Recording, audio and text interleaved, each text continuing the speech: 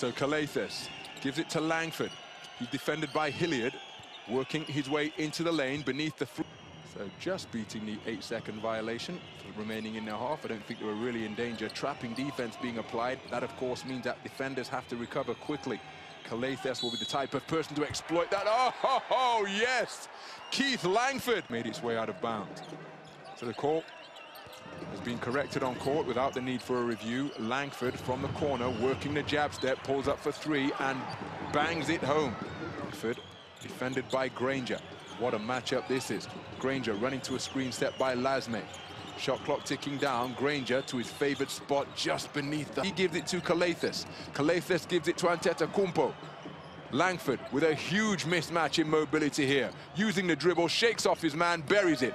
Offense on this trip down the floor. Langford blowing by Granger, then a big jump stop, pump fake, and getting the shot to go by just a single bucket as Langford buries the long-range J. Puts his team up by 12.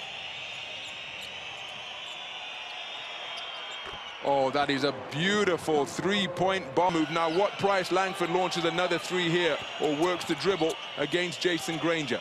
Granger playing with three fouls, the pull-up, and Langford is